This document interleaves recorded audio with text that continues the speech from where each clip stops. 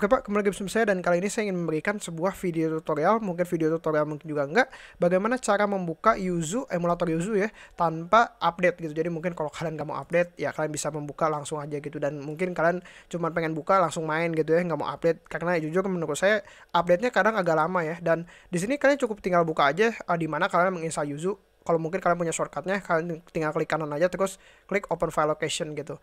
Nah di sini biasanya akan ada yang namanya uh, Yuzu maintenance tool gitu. Kalau uh, maintenance tool.exe ini dibuka itu nanti saat dibuka tuh nanti dia akan mengupdate gitu kan.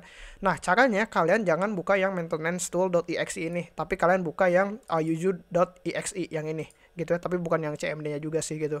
Nah setelah dibuka gitu misalnya kalian bikin shortcut uh, setelah dibuka ini nanti nggak akan mengupdate gitu. Jadi langsung uh, kebuka langsung main gitu.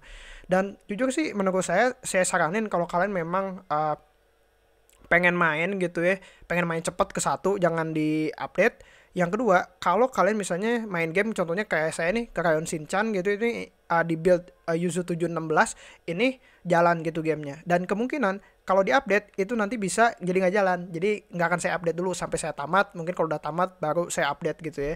Karena ya ada kemungkinan gamenya jadi nggak jalan gitu ya. Jadi ya saya nggak akan update dulu gitu. Dan saya saranin sih kalian uh, jangan diupdate kecuali memang kalau kalian pengen update gitu ya. Jadi uh, mungkin sebulan sekali atau mungkin tiga bulan sekali itu jadi prosesnya pun uh, berkembangnya ya. Untuk emulator ini sebulan dua bulan itu dalam waktu tiga bulan kayaknya udah lumayan uh, improve-nya tuh lumayan banyak gitu dan jadi cukup segitu doang sih untuk video tutorialnya. Cukup gampang juga. Tinggal kalian buka aja untuk aplikasi yuzu.exe nya tinggal kalian cari aja untuk uh, lokasi penginstalnya di mana.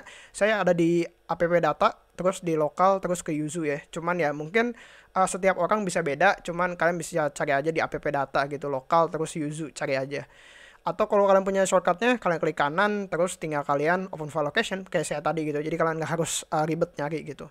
Dan ya jadi cukup segitu doang sih untuk videonya dan thanks for watching. Bye bye